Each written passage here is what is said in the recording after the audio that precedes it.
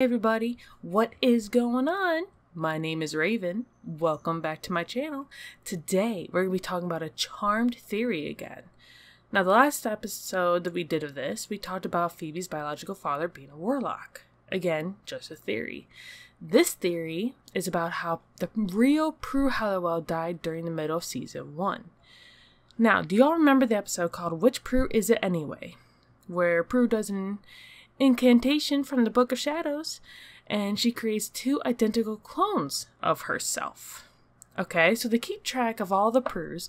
They were they make each and every single one of them wear a different colored sweater, revealing that the real Prue was supposed to be wearing the black sweater, and then there was the two other ones as well.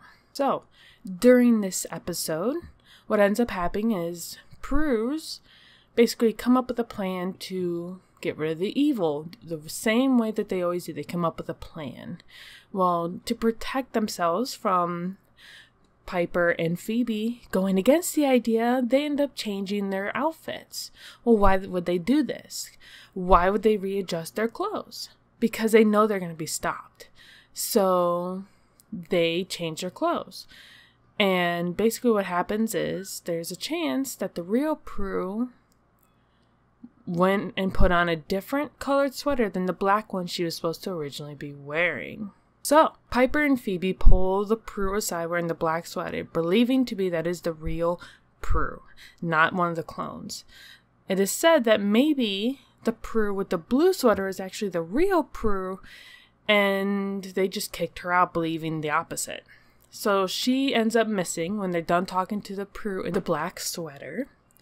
And we all know what happens. So the Prue in the blue sweater decides to take on the, the plan. And what ends up happening is she ends up dying at the hands of the evil guy. The Prue in the black sweater feels this but does not disappear. So it appears that she is the real Prue. Here we come to find that the incantation Prue read from the Book of Shadows created two clones with all of Prue's memories and experiences, who would stay as long as they were needed. When the real Prue, the one in the blue sweater, died, she left behind two sisters who not only were very dependent on her, but still also possessed fairly weak powers, according to this theory, not necessarily my view. They would at the time be easily defeated by almost any enemy. Because of this, the remaining Prue clone had to stay, as the spell obliged her to stick around for as long as her presence was needed. What do y'all think of this? I think this is a very interesting proof, but what would have happened if this is actually true?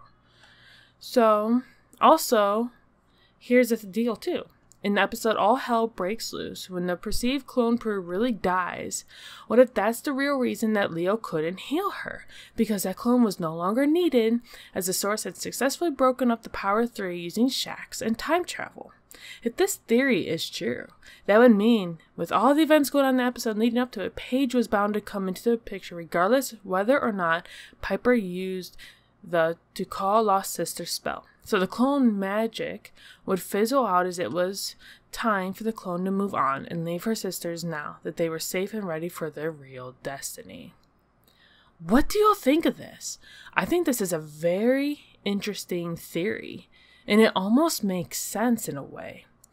Because when this episode happened, Prue actually changed from what I recall. Now, I am going to be rewatching the series again because I love the series so much. I actually wonder if this is actually what happened. What do y'all think? Let me know in the comment section down below. And also, if you could, make sure you hit the subscribe button and notification bell if you are new here. Welcome. I do a whole bunch of different type of videos for you all to enjoy. And the link of this will be is the same as the one I used in the other video of this. I'm also going to link it again in the description. And all my photos used today are from Google Images. I will see you all in the next video. Bye!